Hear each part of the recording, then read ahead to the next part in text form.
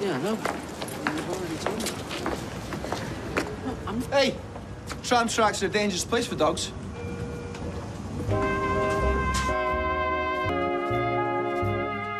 Ah, okay. Tom and on later. Bye. Bye. Right, come on, love. We're gonna have to get going now. Oh? Oh? Hey! Hey, have you seen O? Your little girl with the greyhound. Yeah, where have you seen her? She was heading into the tram station.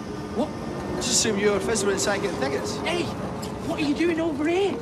Looking at the tattoo shop. Well, where's the dog? I don't know. Well, when was the last time you seen him? Tied to the fence in the garden. Listen, mate, I swear. Yeah, I don't doubt you. I'll sort that later. First, we've got to find this dog. Hey, I'm saving you a fortune here.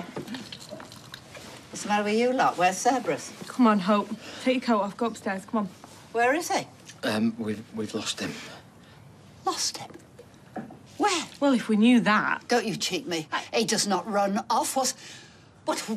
Was he off the lead? Come on, Hope. Upstairs. You didn't. You didn't let her walk the dog, did you? You did. You did. You cannot let a little girl walk a big dog like Cerberus, especially not that little girl. He's in Rochdale. Rochdale. I put him on the tram.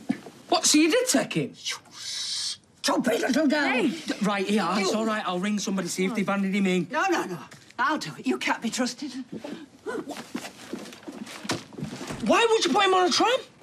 Now the dog is gone, the bad lady can go.